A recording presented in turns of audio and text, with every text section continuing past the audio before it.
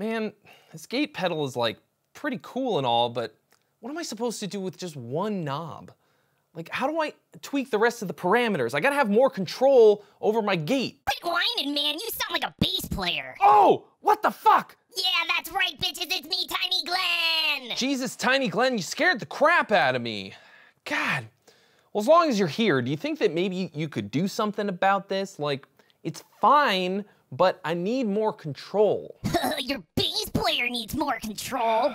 Yes, Grandma, I know my bass player needs more control, program drums, yada yada. It's 2021. If you're not gonna come up with some better jokes, can you at least come up with a better version of your gate? Ah, Is that too much to ask? fine, I guess Oh, so. great. Thank you. While we're at it, is it all right if my audience has a coupon code so that they can get a little bit of a discount? I think they've put up with enough of your shit already. Fine, but you me you'll never cut the mic. Thank you, Grandma. Everybody say thank you, Grandma. Fuck you, Glenn. All right, Tiny Glenn claims that this is going to be an improvement on the original, but as always, there's only one way to find out. So let's try it out, I guess. I don't know, man. This looks basically the same. There's only one knob still.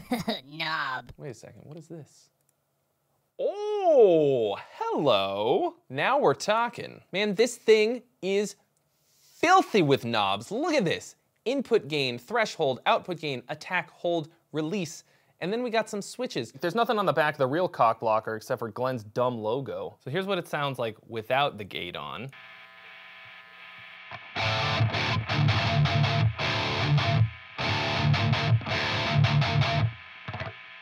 Pretty noisy. So this is one of Glenn's preset. It's called Tight Metal Rhythm.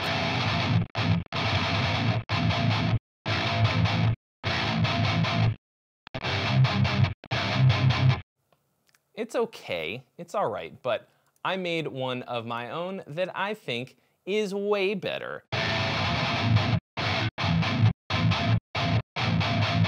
And I think I've achieved exactly what I'm looking for.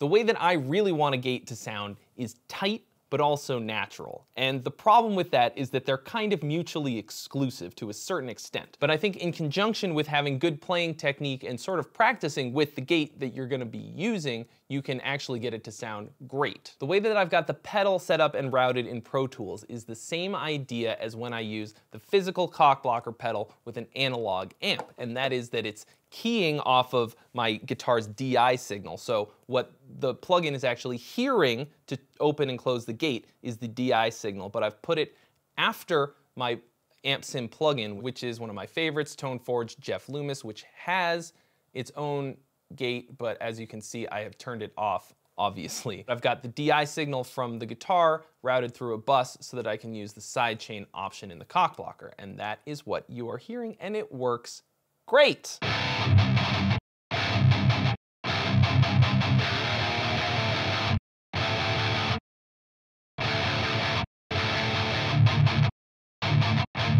So you guys may remember when I found a secret by opening up the back panel of the original cock blocker. Well, guess what? There is another super sick little secret in the second back panel. So we're looking at the back panel right now. If I push on the key listen button, we're treated to another back panel, a backer panel. Obviously it's not real, it's digital, so they can do it, there could be 70 back panels, it doesn't matter. But check this out, we can customize the key listen function with a high and a low pass. So now we can hear what the pedal is hearing. That's what the key listen does. If we turn it off, okay? So this is partly just to test to make sure that we can hear what the pedal is hearing because if the pedal is hearing a distorted guitar signal like the amp, then it's not gonna work right. It's just gonna be a big mess. So here's something that I've learned from metal rhythm guitar, okay? Chuggy, heavy, low stuff. Sometimes it doesn't work that well with a gate, and part of the reason is the low end tends to kind of like fart over the whole thing, and it kind of just keeps going when you want the sound to stop. So what I've done here is I've actually taken out most of the low end from the signal just that the gate is hearing to trigger the gate on and off. So you're not gonna be hearing this high and low pass. It's just the pedal hearing that and then turning the gate on and off. If we don't do this, if I turn it all the way off and then it doesn't turn off fast enough. And then you wind up turning up the threshold to compensate, which works, but you can have the threshold a lot lower and just use this high pass instead and turn off the key listen so that you can actually hear it. I think that works way better. I've also turned up the low pass quite a bit, and the reason for that is to try to get rid of the squeakies um, as much as possible. You know, there's it's kind of impossible to actually get rid of them, but uh, you can reduce it uh, by a, a good bit. So if you sort of reduce what the gate is hearing to just the mid-range part of the guitar, it's just gonna work a lot better. It's gonna operate much more cleanly. You can dial it in crazy tight, like Veil of Maya tight. Let's see.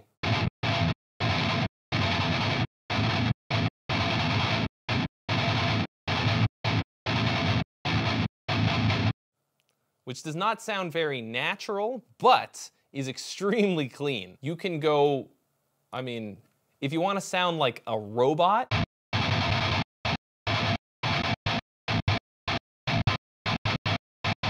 you can do that too. As much as I hate to admit it, Glenn has made himself an extremely powerful and versatile gate plugin.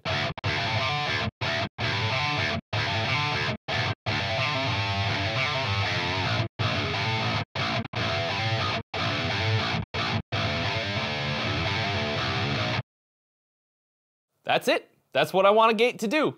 How am I supposed to give Glenn a hard time when he made something that's this good? There are, of course, plenty of gate plugins and pedals on the market, and I just find that I can't usually make them sound exactly the way that I want them to.